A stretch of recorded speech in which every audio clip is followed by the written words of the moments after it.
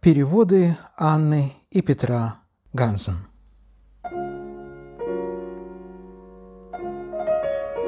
Хенрик Ипсен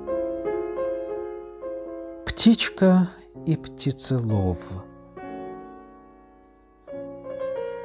Читает Евгений Бразуль-Брушковский. Я помню, что бедовым мальчишкой в детстве был, И раз в бару сосновом ловушку смастерил.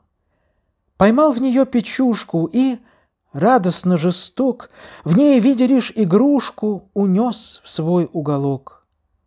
Присел с ней на пол рядом И стал пугать, чем мог, Шипением, злобным взглядом И топотаньем ног — Устав пугать, и сердцу я дал заговорить. В ловушке тихо дверцу открыл и жду. Пить? Взлетела мигом крошка, найдя к свободе путь, но а стекло окошко себе разбила грудь.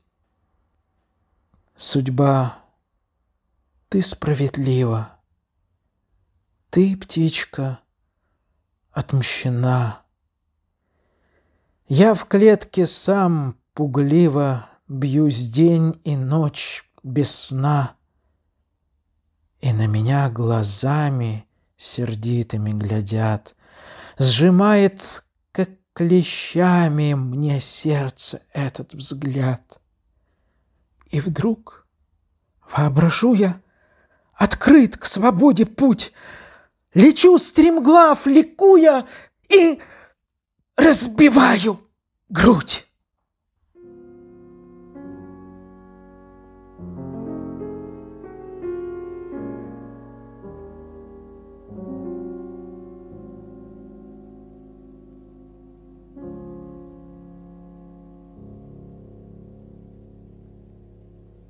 Читано по изданию.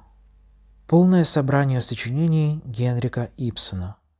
Перевод с датско-норвежского Анны и Петра Ганзен с критико-биографическим очерком и предисловиями к пьесам, составленными Анной и Петром Ганзен и с приложением портрета Генрика Ипсона.